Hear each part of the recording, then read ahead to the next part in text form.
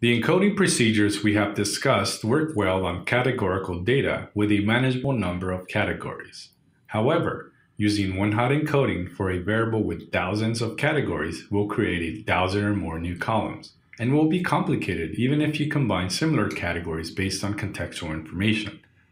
Let's discuss data-driven approaches to reducing the space of categorical variables and creating meaningful features.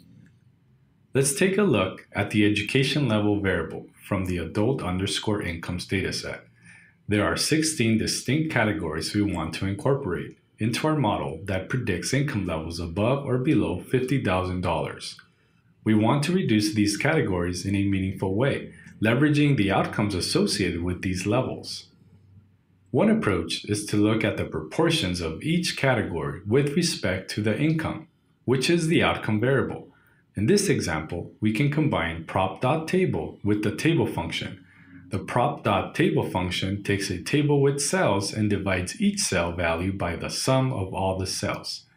If you add a 1 after the table, you get the value of each cell divided by the sum of the row cells.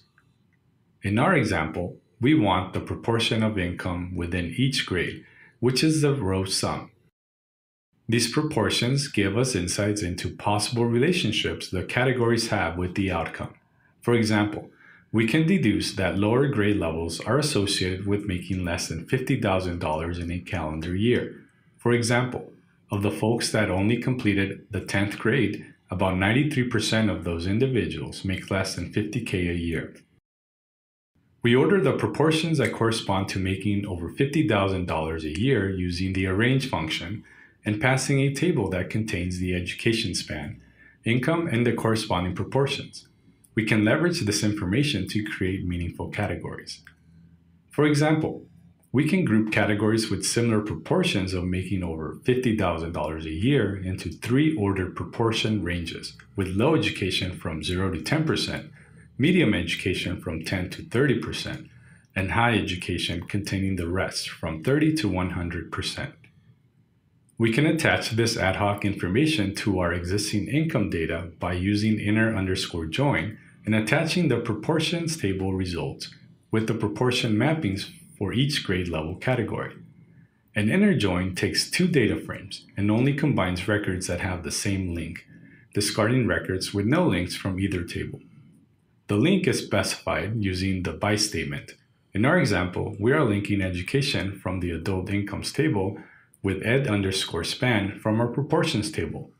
We now have the proportions associated with our education levels to map on our desired low, medium, and high education range categories.